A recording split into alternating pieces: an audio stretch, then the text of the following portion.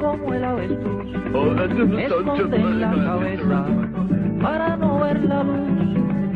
Y hombres que quisieron ver y con su inteligencia van buscando la verdad, siguiendo el camino de la ciencia, pero que el diablo, pum, pum, ahí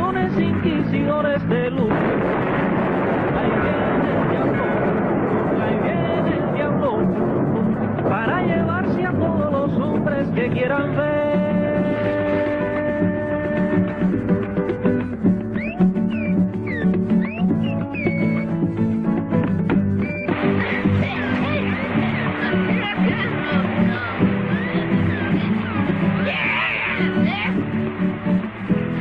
Mira, para evitar el peligro hay una varilla de acero en el cometa y un cable a tierra que funciona como pararrayos.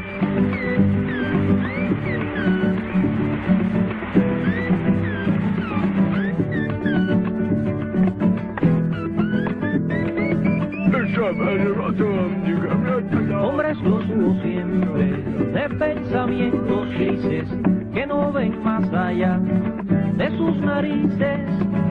Tú sigue con tus dudas, busca y experimenta, abierta la razón y la mira atenta, paso a paso llegarás,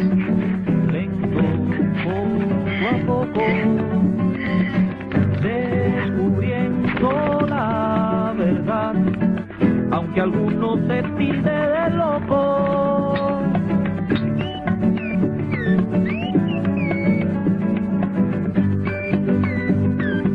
No, no, no. Yeah, he did it. And we're getting it. Why is it, Karen? No, no, no. Under, under, under the cropper, and I checked out my gun, cause some doesn't serve.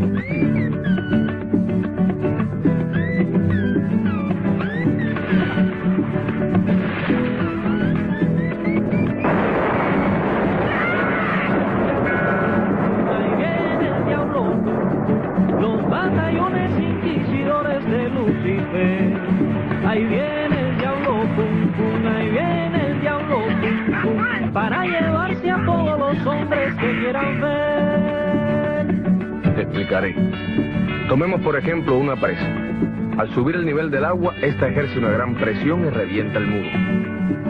El rayo no es más que un contacto entre dos polos opuestos, la nube y la tierra.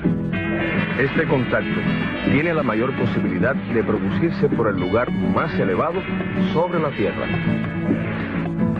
Un aliviadero evita el peligro, ya que al subir las aguas, estas no se acumulan, sino que fluyen. De igual modo, cuando en un lugar alto facilitamos con un cable el flujo eléctrico, estamos creando un aliviadero.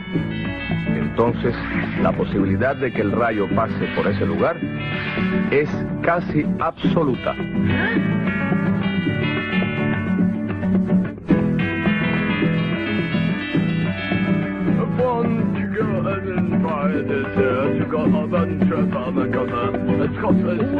Los tiempos, prósperos y atrasados, hombres de poco vuelo y hombres talados, hombres de corta vista, que como el entierran la cabeza para no ver la luz